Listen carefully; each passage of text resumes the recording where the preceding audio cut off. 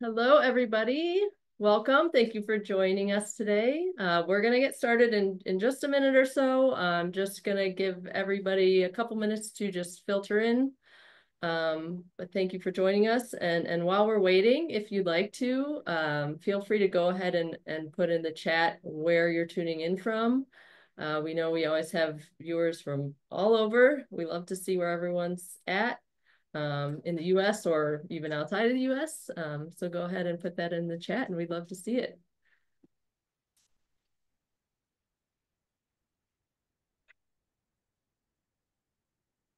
Whoa, Alaska. Wow. South Dakota. Oh my gosh. Colorado. I'm in Colorado. Hi. Kentucky, South Carolina. Hi, Troy. Tennessee, Pennsylvania. Wow, we've got like half the states already. Welcome, everybody. Okay, it looks like we've got a good number going. So I think we could go ahead and get started. Um, my name is Catherine Swery, and I am the Content Marketing Specialist here at ACHS. Uh, thank you all for joining us today uh, for the webinar, Somatic Approaches to Befriending Stress. This is part two of our stress, stress management series. Um, and leading today's talk is ACHS Professor Lisa Warman. Um, part one of this series was hosted earlier this week by Dr. Jackie McGrath. Um, so if you didn't have a chance to watch that, I will go ahead and put the link to the recording in the chat box. Um, so you can feel free to check that out later because uh, these two really do go hand in hand. Um, uh, before I hand it over to Lisa, I do just want to share a couple of housekeeping items really quick. Um, you may have noticed that your line is muted um, and we are recording today's webinar. Uh, so having your line muted helps us ensure for better sound quality for everyone who views the recording later. Um, if you do have questions or comments during the presentation, go ahead and put them in the chat box at any time. Uh, we love to see your questions and, and we'll try to answer as many as we can um, during the presentation. Um, if you're having any technical issues, I'll be working behind the scenes today. So go ahead and send a message to me in there um, and I should be able to assist you. Uh, one thing to note about the chat box is that you'll notice there's a blue drop down menu. You wanna make sure you have that set to everyone instead of host panelists. That way everyone can see uh, your questions and comments. Um, and with that, I think I will go ahead and hand it off to Lisa to get the presentation started. Thank you so much, Catherine. I appreciate that introduction. And I would just like to reiterate that, yes, this is a two-part series. Uh, Dr. Jackie presented part one, and if you happen to have missed it, um, Catherine's going to put the link in. So I, I certainly encourage you to view that when, when you have an opportunity. And a lot of what Dr. Jackie presented in part one uh, built a foundation for what, what I'm going to talk about today because as an English teacher at uh, American College of Healthcare Sciences and teaching research writing, I always encourage my students to make sure that whatever it is they're talking about is rooted in science. And uh, as a yoga teacher, I just believe that all of this works. Um, and I just want to go out and tell the world that all of this works, but um, we need to have the science behind it. So uh, Jackie was the root of all of this. And now I'm just adding some of the um, somatic approaches, and we're actually going to do a little practice today. So hopefully you'll participate in that.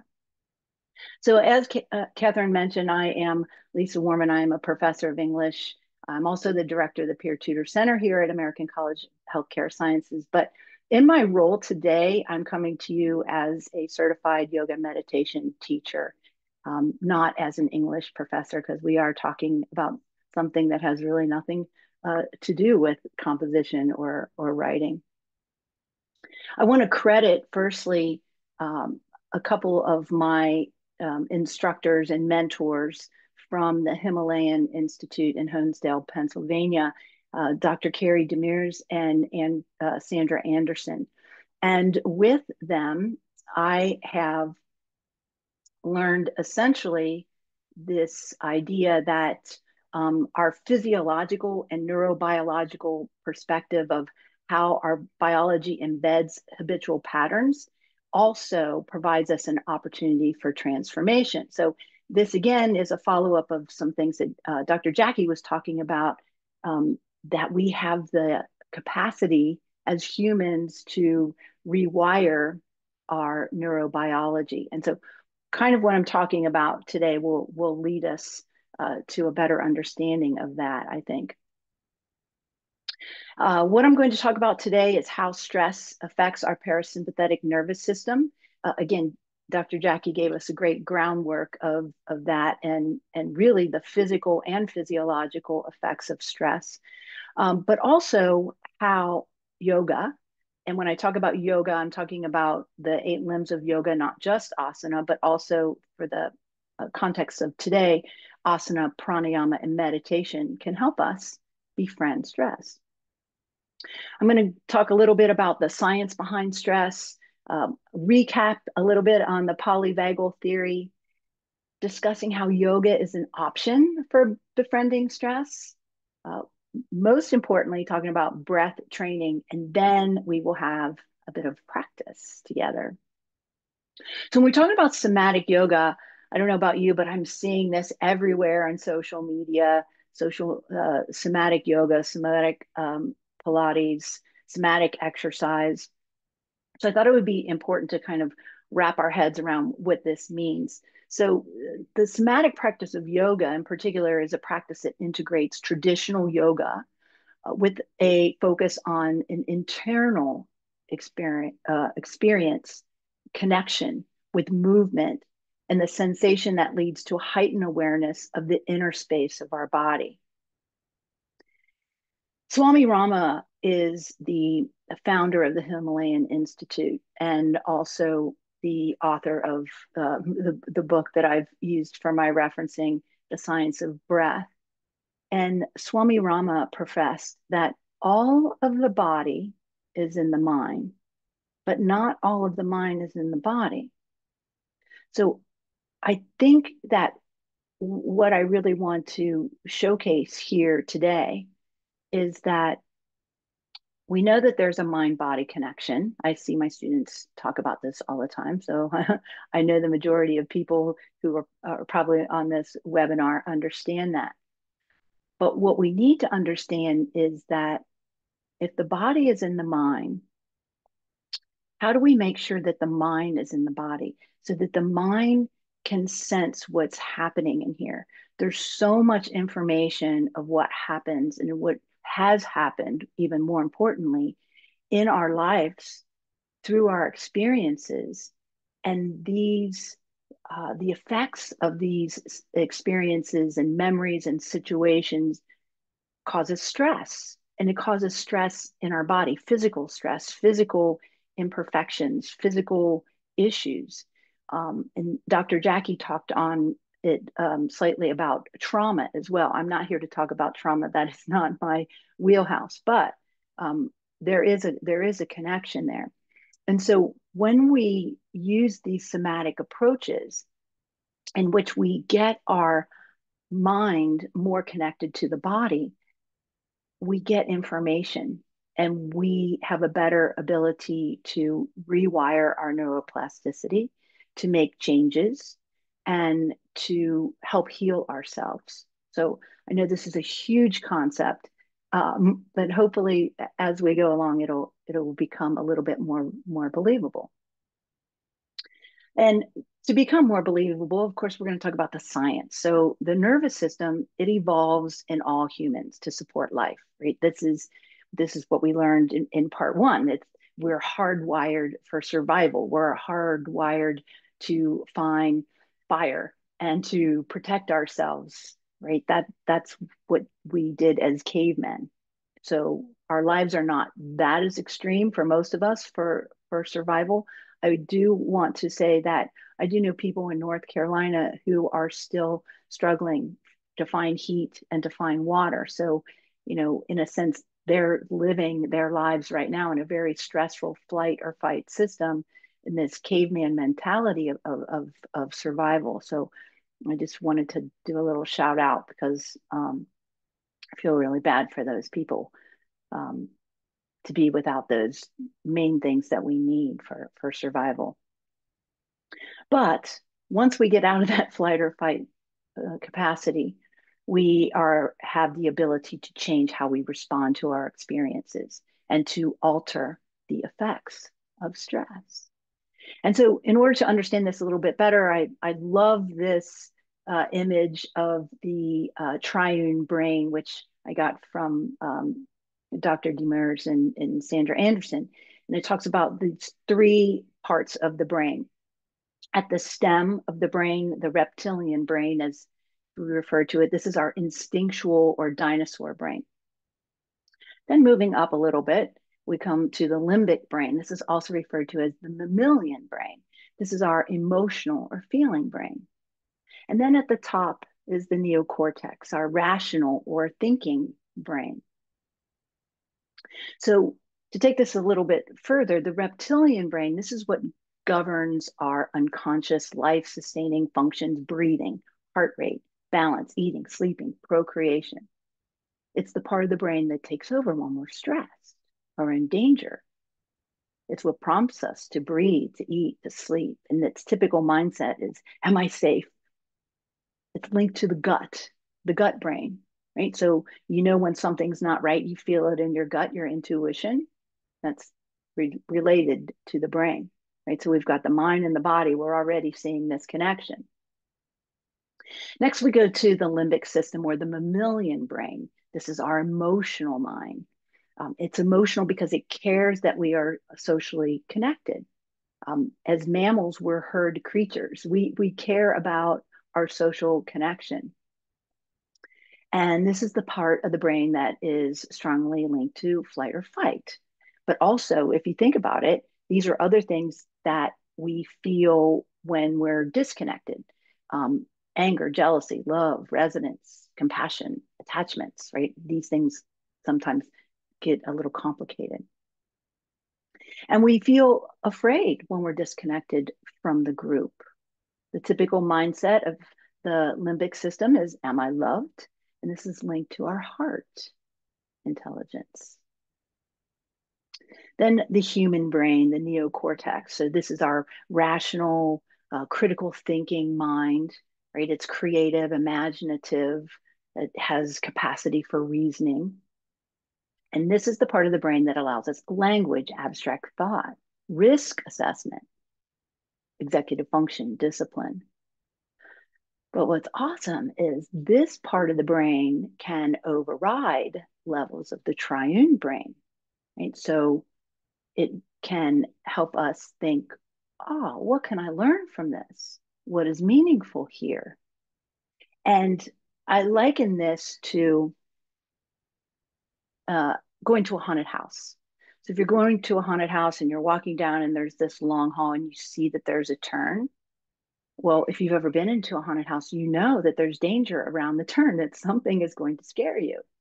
So even though you know that that's going to happen, that doesn't necessarily mean that you're not going to be frightened. But what it does mean is that you can anticipate what's going to happen. You can prepare yourself, and that um, term of fright may be shorter, right? It may be m- minimal.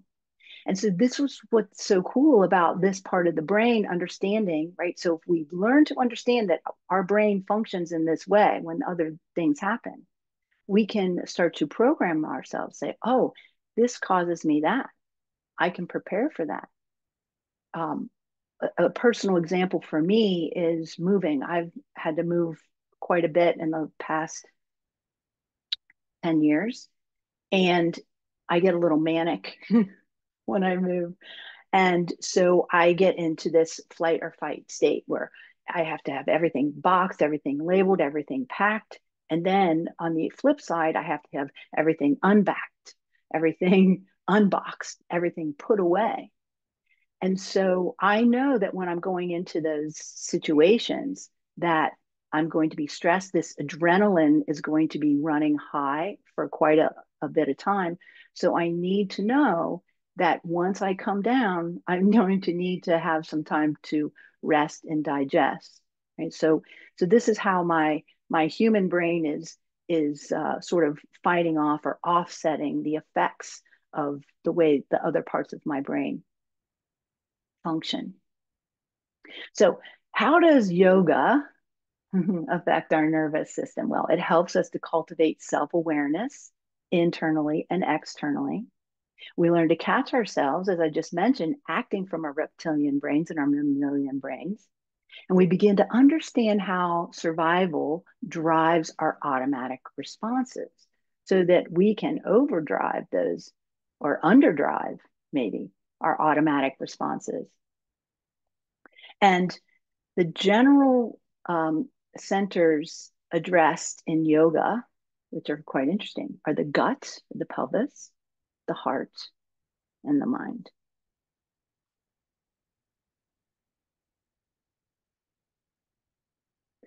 So the autonomic nervous system, Dr. Jackie already previewed this for us, so this is a review.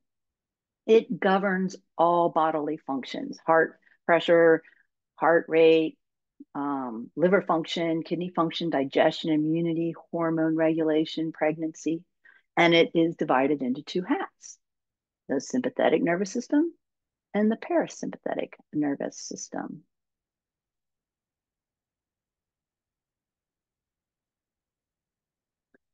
Sympathetic nervous system is the flight or fight. This is when our nervous system is active and we are directing energy out into the world. Um, we're working, we're doing, we're thinking, figuring things out. It can be stressful and it may trigger an adrenaline response. Doesn't necessarily always have to be bad though, right? At its most extreme, it's this flight or fight, but we also need to have energy here or tone or activity in this system to stimulate the mind and the body. So the body is ready for action, the mind is alert, and we sometimes need that right to to engage, to play. Um, Dr. Jackie and I were talking about, you know, this flight or fight. We had to get our slides done by a certain day, right? So um, these are things that help us meet deadlines as well right? So, so as humans, we we need this. On the other side, we have the parasympathetic nervous system. This is our rest and digest. This is where, when we have more tone or more activity in this part of our nervous system, our energy is directed inwardly. This is to support our digestion, our immunity, cellular repair, rejuvenation. So you're starting to see how more activity and more tone in this part of the nervous system helps us to repair ourselves. This is also where our mind feels more calm and relaxed. It's more able to assimilate experience. We can consolidate memories in our past. We can choose to look at the good rather than the bad. One thing that's interesting to note is that our experiences seem to have um, different ways that they affect us. For example, our negative experiences are more like Velcro. They stick, they're more hardwired. And our positive experiences are more like Teflon. They don't last as long. And so the more time we can spend thinking about our positive experiences, the more we can get them to stick and to resonate. And the less time we focus on those negative or Velcro experiences, they can start to kind of wither away. So this brings us all to the polyvagal theory, which is a theory uh, brought forward by the neuroscientist Stephen Porges. And Porges states that the parasympathetic nervous system is governed primarily by a pair of nerves called the vagus nerves. So when there's more tone or more activity in the parasympathetic nervous system, there's more vagal tone. This is good. Porges expanded our knowledge of the autonomic nervous system by describing two branches of the vagus nerve the dorsal vagal complex and the ventral vagal complex. The ventral vagal is good. This is where yoga comes in. This is what we want to develop. This is what we want to focus on. So, understanding the polyvagal theory has implications for stress management and trauma recovery. Again, I'm not a trauma expert, but there is science out there to support that. Strategies that promote ventral vagal activation are deep breathing, mindfulness, and certain somatic body work, such as yoga, which can help shift individuals out of these defensive states into a sense of safety, calm, and connection. I thought it was very interesting that on uh, during Jackie's webinar, there was a little thread going on about practicing yoga in a group versus um, alone, and that they um, the um, the participants were talking about that they felt more of a connection and it was more beneficial to them. I thought that that was a nice reinforcement to to what Porges is saying about the ventral vagal complex. But before we get to that, the dorsal, right? So this is old. This is exists in all vertebrates. It causes immu, uh, immobilization and fear, like the possum syndrome. And I think that what happens is, is if we get into that flight or fight too long and we can't come out of it, we stay, right? And so this is where we start to feel feelings of threat, uh, collapse, shutdown, unhealthy coping behaviors, despair, hopelessness. And it's connected to the lower GI tract. So, this is why when people are stressed, they often have GI issues. It's connected mind and the body, stress in the body. The ventral, right? This is good. This is this is new according to um, it's new to us. It's new in theory, um, and Porges calls this the, the vagal brake. And this vagal brake it puts a damper on our sympathetic nervous activity. He refers to it as the social engagement system. And when this system is activated, we feel safe and connected and it helps us to prevent anxiety or fear. So in my mind, if I'm in the haunted house and I'm walking down and I'm coming to the corner and I know that something's going to jump out at me and scare me, right? I can feel safe because I know it's coming. It might be scary, but I know it's there, right? Yoga practices activate our ventral vagal complex and help create a more um, more vagal tone, more vagal activity. And we feel safe and calm and regulated and have a healthy balance. We feel resourceful. And this is similar to something that Jackie shared. So I'm, I'm just kind of going to go over this a, a little bit here. But so in this green, right, this is the ventral vagal. So when there's more activity here, where this is in our parasympathetic nervous system.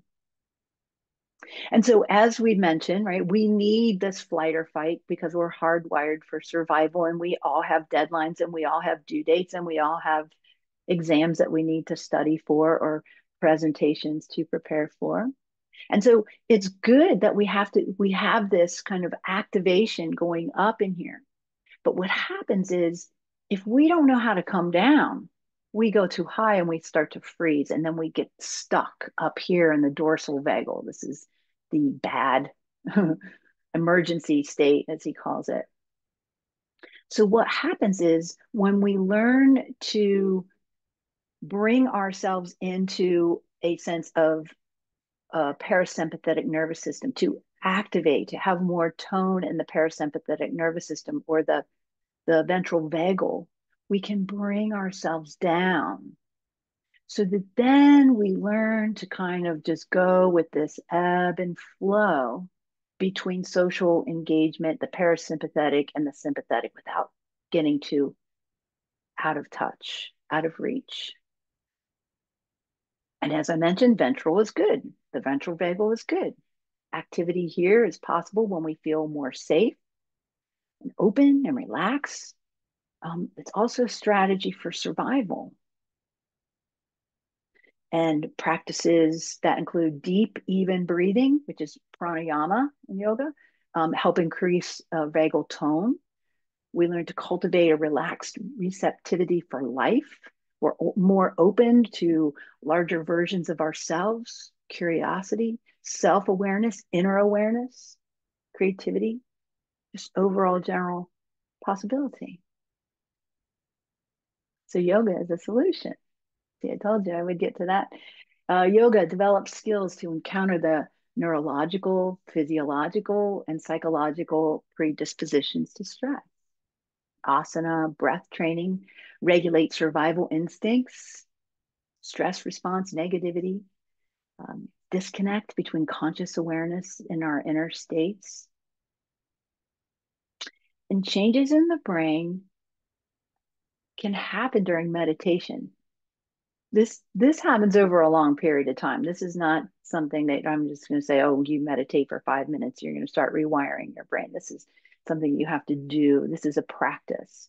This is why yoga is a practice because it's never ending. You never get to the end. You're always, always doing it. Chronic stress reactions impact our physical, mental health.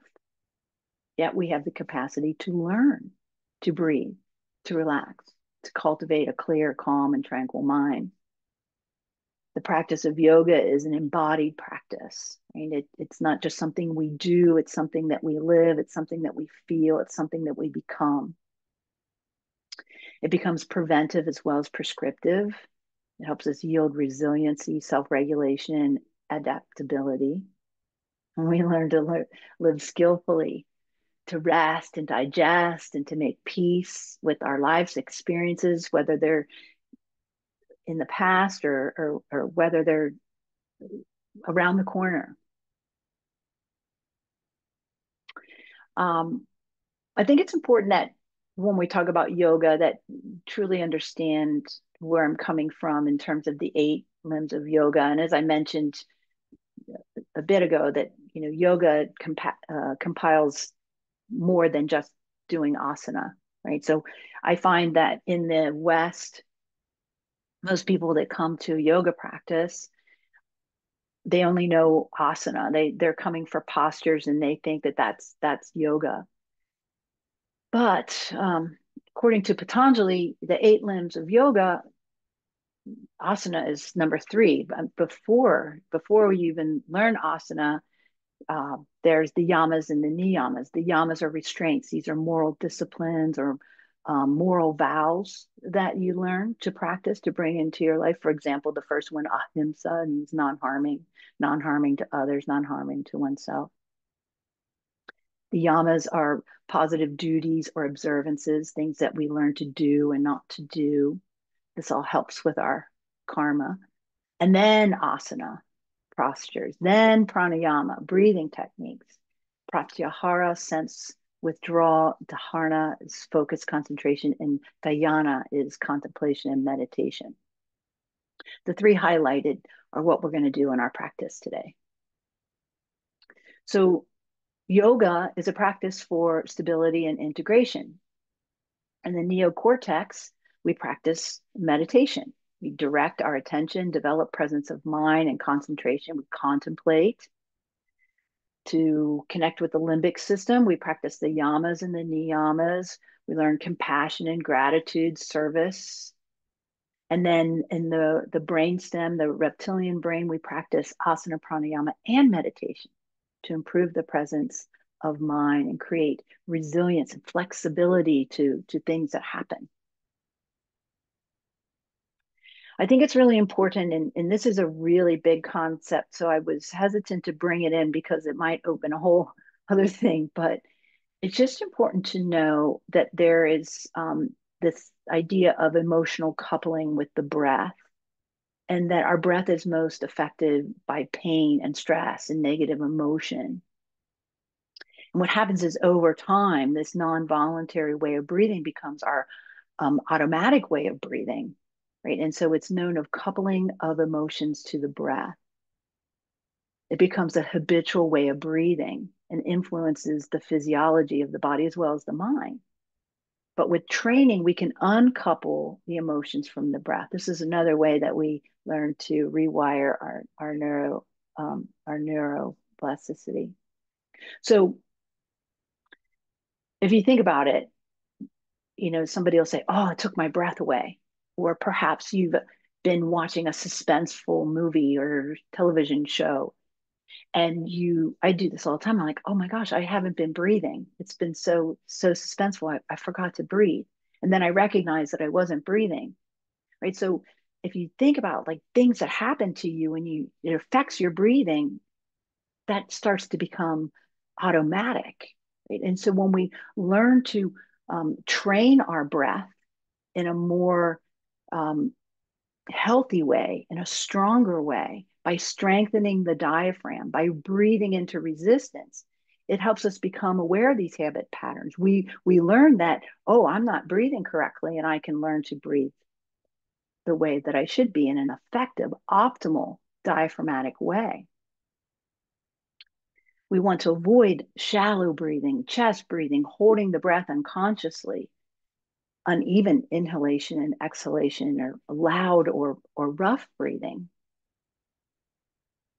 And we learn to develop a, a regulated breathing through optimal diaphragmatic breathing. We learn to ground our awareness in our body. We create a new habit of being in the body in a conscious way. We bring the mind into the body and then the body back into the mind with the breath. You may have heard yoga, meaning yoke, yoking the mind and the body with the breath. This is what we're talking about here. So without breath awareness, we're just going through the motions of practice and, and our breath becomes mechanical. But with awareness, cultivated by observing our breath, we can begin to create new supportive patterns of breathing so that healthy diaphragmatic breathing becomes our new habit. We practice, we strengthen, and with repetition, this helps us to break old breathing habits. So, in optimal diaphragmatic breathing, we focus on the five qualities of breath deep, smooth, even, quiet, and continuous. Continuous meaning like a circle, Hmm, I'm wearing a circle. Hmm. There's no beginning, there's no end. And so, if we can imagine the breath as being one continuous circle, so that each inhale leads into an exhale without stopping, without restarting, and each um, exhale leads into the next inhale, so that there is no pause, there is no gap So we're back to this purposefully. So, how does yoga practice affect our nervous system?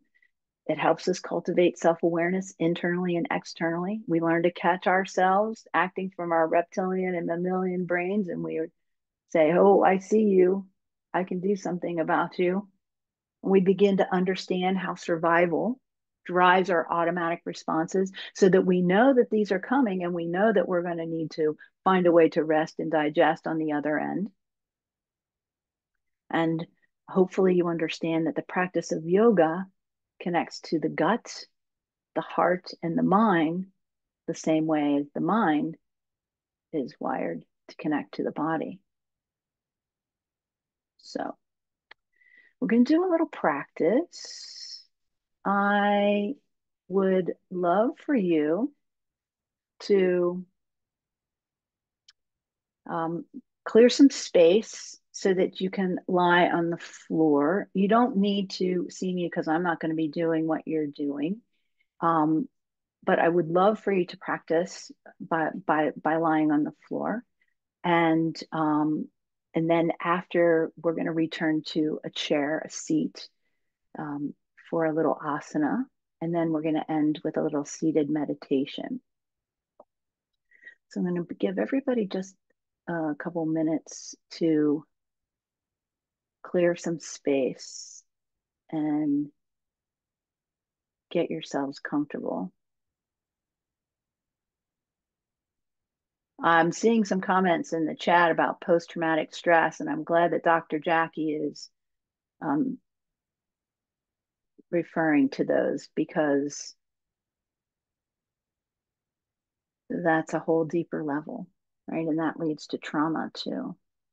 But um, yeah, this can definitely help because I think what happens is when we start to do our breath training and we start to get a better sense of what we feel in our bodies is that somehow you know anything that we're not connected to um, clearly in our bodies that, that there's a, a sign that there's some sort of something there that some sort of post-traumatic experience has lodged itself there. And it could be a physical trauma or it could be emotional trauma. And what happens is through these practices, we learn to acknowledge that there's something there. Hmm. We learn to accept that there's something there. And then often with, with help, we can learn to take action about what is there and help us to clear these spaces out. So um, I, I would like to, to mention that as we go through these practices, if when I'm guiding you with the breath and we're going to take a little tour of the body, that if you find that you have difficulty connecting to a certain part of the body, don't don't belabor that. Just make a little note of that. That might be something that you want to look at. Okay, so hopefully I've given you enough time so that you can lie on the floor. And we're going to lie on our back, starting lying on your back. Um, what I'd like for you to do is just find yourself comfortable and with your legs extended, your arms extended to the side, just so that your arms and legs aren't touching one another or touching another part of your body. Close your eyes. Allow yourself to be supported by the floor, the earth beneath you. Relax your jaw. Draw your tongue away from the roof of your mouth. Close your eyes. If you're not comfortable closing your eyes, just kind of lower your gaze or take your gaze inward. And now take your hands and place them on your belly and just notice your breath. Don't try to change it. Don't alter it. Just notice how it is in its natural state without shaping it, without doing anything differently.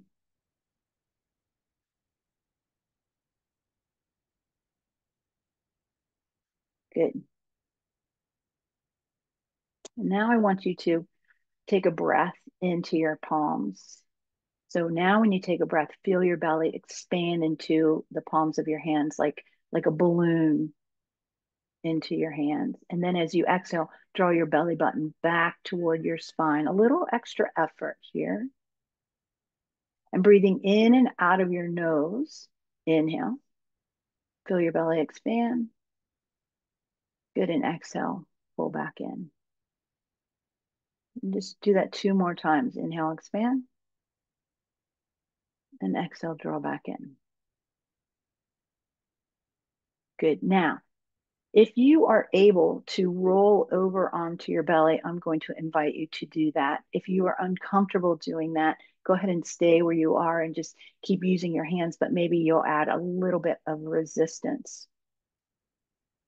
So once you roll over onto your belly, we're coming into the asana called Makarasana or crocodile pose. So if you can imagine a crocodile, that's what you're creating here. So bend your arms at your elbows, take your fingers and place them on your opposite elbows, and rest your forehead on your top forearm. So if you're wearing a watch and it's interfering with the forehead, maybe switch your arms so that there's nothing there.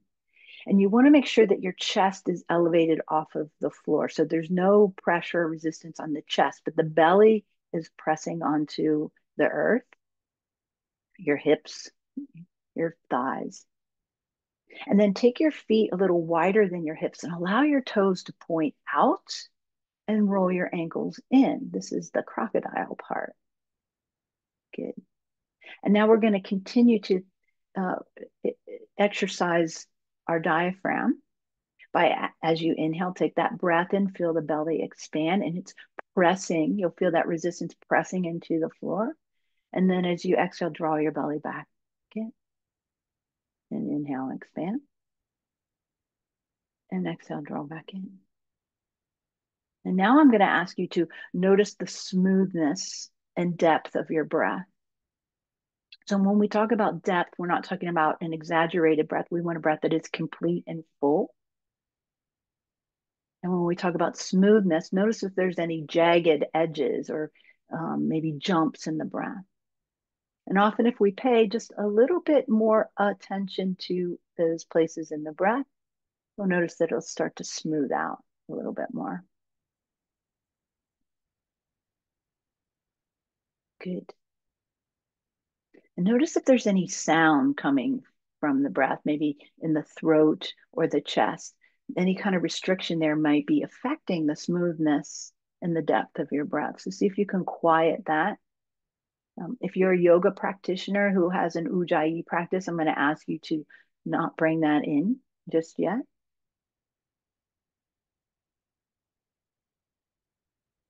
Good. Now, notice the evenness of the breath. Notice the rhythm. We want to inhale that is seemingly the same length as the exhale and vice versa. So find your natural rhythm. Don't try to extend anything beyond what is comfortable. And if you're not sure of the rhythm, maybe assign a number to the length of the inhale and match the length of the exhale to it. Good. And then lastly, we want to look at the top of the inhale and the bottom of the exhale. And we want to make sure that there's no pause, that there's no cease, that it is continuous and without pause. So I'd like for you to take three more breaths. Deep, smooth, quiet, even, and continuous.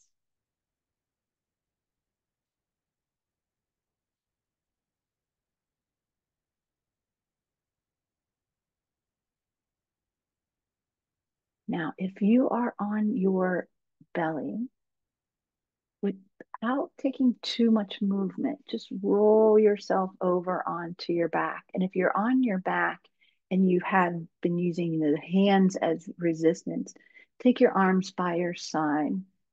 And those of you who are rolling over, also take your arms by your side in a Shavasana or corpse pose. And with your eyes closed, just connect with the movement of breath in the belly now that that resistance is gone. And allow yourself to just ride that wave, that rhythm. Allow the mind to connect to that rhythm.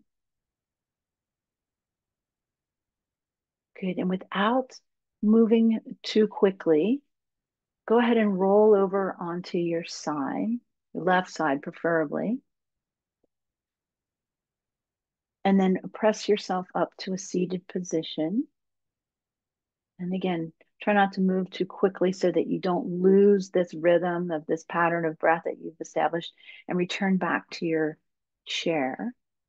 And if you're in a comfy chair, make sure that you move to the edge. Place your feet firmly on the floor. And if your feet don't reach, maybe you can grab a book or something if you have to, so that they feel grounded. Lift and spread your toes and press the four corners of your feet into the floor, the inside ball, outside ball, outside heel, inside heel. Track your knees over your ankles. Sit up nice and tall and feel your shoulders coming aligned over your hips. Getting your ears over your shoulders. And place your hands back on your belly and feel that movement. You inhale, expand. Exhale, draw back in. Good. With the next breath you take, find a little lift in the chest. And then as you exhale, draw your shoulders onto your back, away from your ears. With your next breath in, find some length in the back of the neck. And as you exhale, draw your chin back slightly. Good. Now release your arms by your side. We're going to find movement with the breath. So do not adjust your breath to match your movement. The movement should match your breath. So as you breathe in, bring your arms up overhead. If you can, allow your palms to touch. And then as you exhale, turn your palms away, sweep your arms down to your side. This is very simple, but not always. The idea is as you inhale, the movement of your arms length lasts for the length of the inhale. And as you release your arms down, the movement lasts the length of the exhale. So if something isn't off, adjust the arm movement. Again, do not adjust your breath. Inhale, sweep up.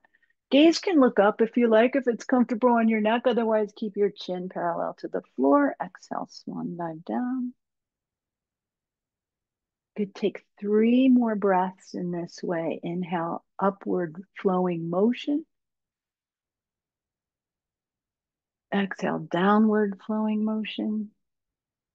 Again, breathing in and out of the nose. Do one more round here. Come up.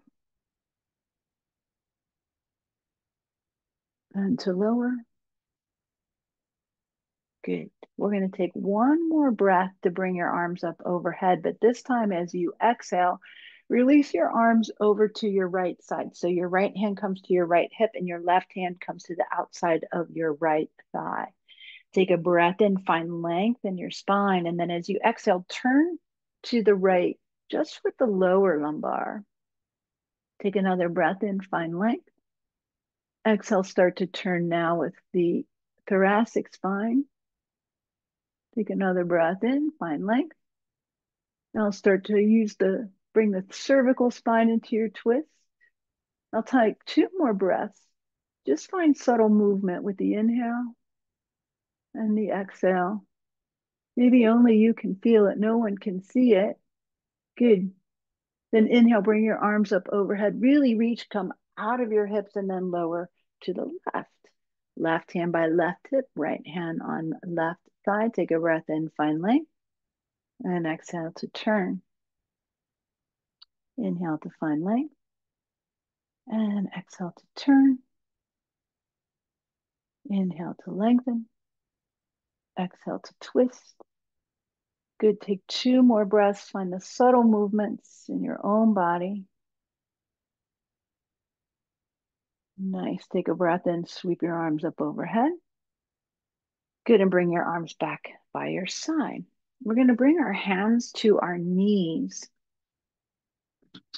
And you want to straighten your arms as much as you can and kind of cup your palms over your knees. And as you take a breath in, pull your heart and chest forward, drop your shoulders away from your ears, find a little arch. You can look up if you like. Otherwise, keep your gaze steady. And then as you exhale, use your palms to press away as you round your back, bring your chin to your chest and belly button to your spine.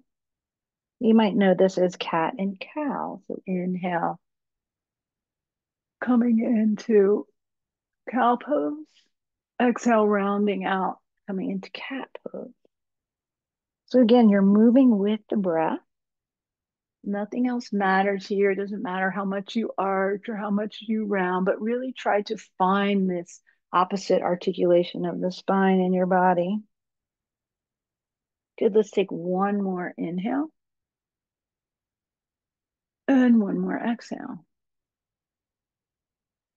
And now come back to a comfortable seat. Go ahead and place your hands on your belly once more. Find your nice erect posture. Again, shoulders over hips, ears over shoulders. And close your eyes or lower your gaze and connect once more to the movement of the belly in your hands. Allow your mind to try to focus on nothing but this movement, this rhythm, this deep, smooth, even, continuous, quiet breath. Good. Now rest your hands, palms down on your thighs. And the next breath you take, see if you can allow your awareness to rest in the crown of your head. So take a breath there. The next breath you take, shift your awareness now to the center of your forehead, just for one breath.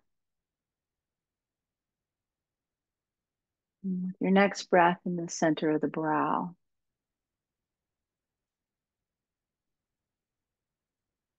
Take one breath with your awareness in the inner pockets of the eyes, zero pockets of joy. One breath at the opening of the nostrils.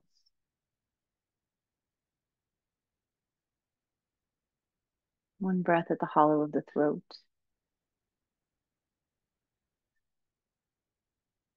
One breath out to the shoulders.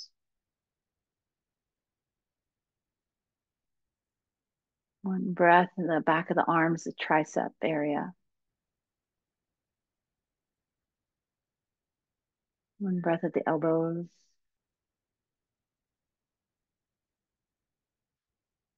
One breath at the wrists. One breath at your palms.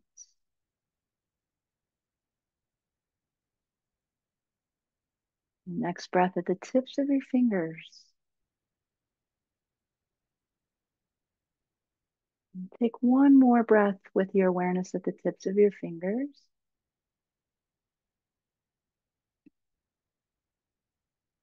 now a breath at the palms. Moving back to the wrists.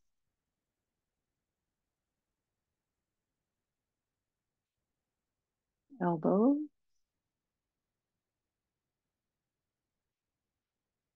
Triceps.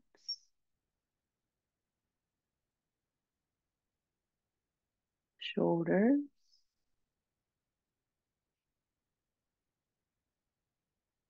Back to the hollow of the throat.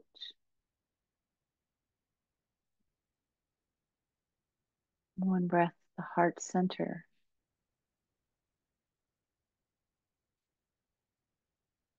One breath at the tip of the sternum. One breath at the navel center.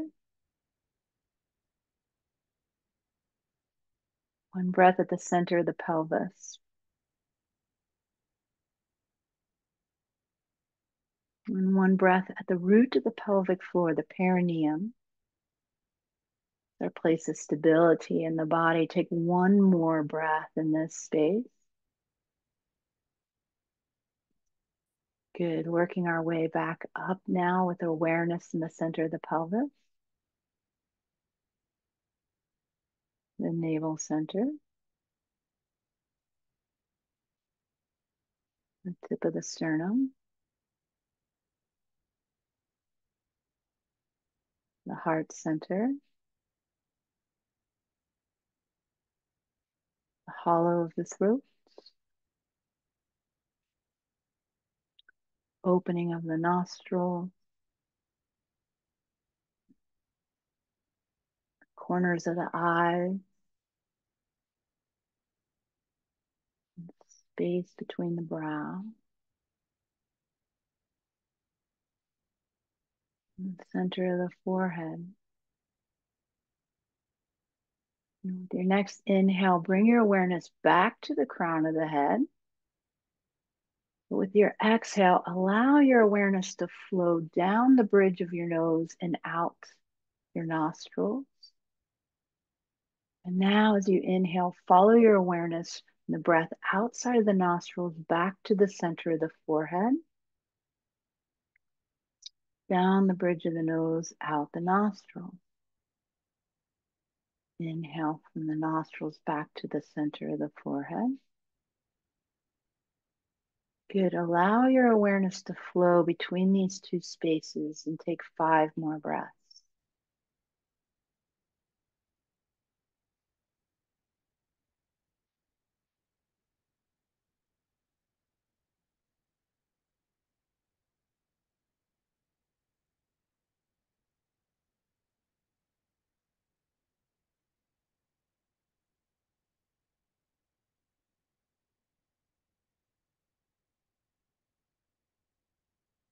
After your fifth round, if you can allow your awareness to then collect and rest in the center of the forehead, you may start to notice that the mind wants to rest in this space, in its home, Agya Chakra. Allow the mind to rest here. And if you find that it wants to wander, just learn to bring it back. It's like training a puppy. If you find difficulty bringing it back, maybe focus a little bit more on the sensation of the breath in the belly. Going back to your rhythm.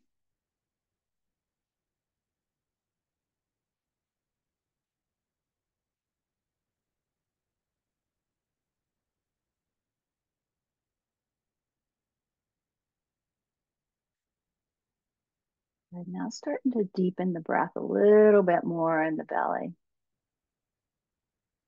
And keeping your eyes closed, bring your palms together at your heart center.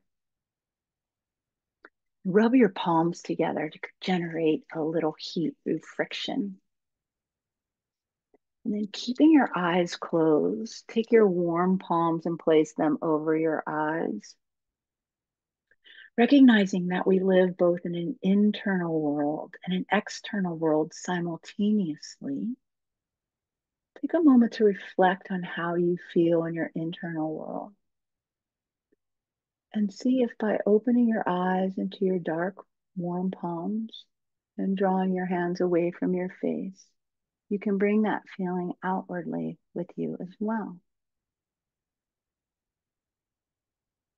Take a bow into your own heart space, just acknowledging yourself, the time that you've given yourself to train your breath, to connect your mind and your body and your body with your mind.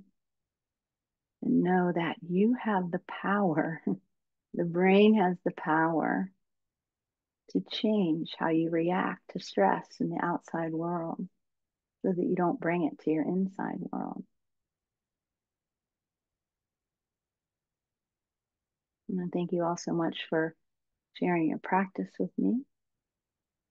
And I hope that you will be the change you wish to see. We do have a few more minutes if anybody has any questions or anything that they want to put in the chat.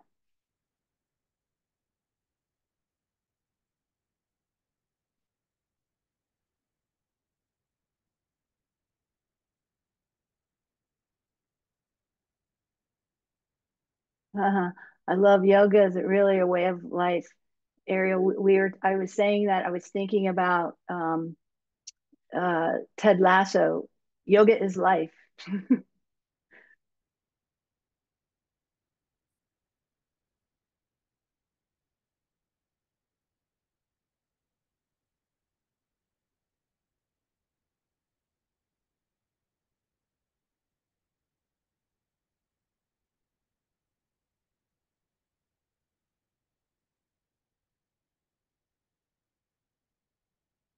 Thank you, Dr. Thompson.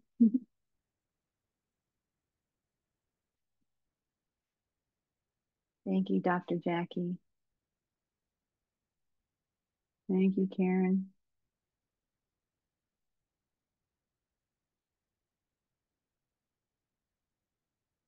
Um, Catherine, I don't think that I have anything else to add today.